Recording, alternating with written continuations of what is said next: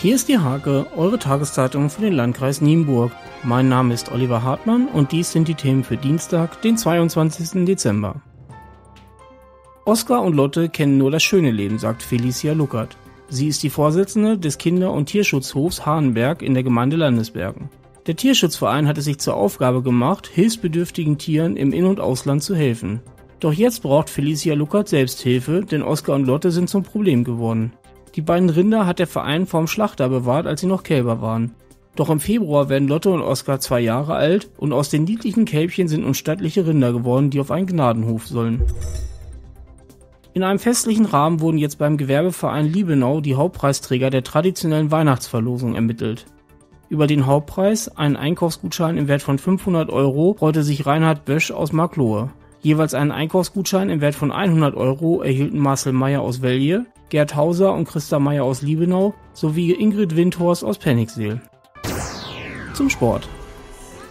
Die Generalprobe der Lateintanzformation vom 1. TSZ Nienburg verlief für Trainer Rainer Bormann zufriedenstellend. Auch nach dem Aufstieg tanzt die Formation weiter zur Musik It's a Beautiful Day von Michael Bublé.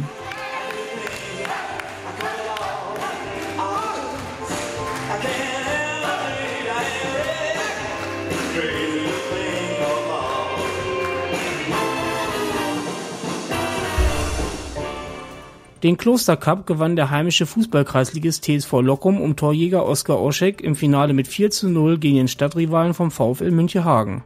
Aushilfskeeper Jens Brunschön vom RSV Rehburg wurde zum besten Torhüter gewählt. Am 17. Januar steigt der erste Volkslauf im Kreis Nienburg.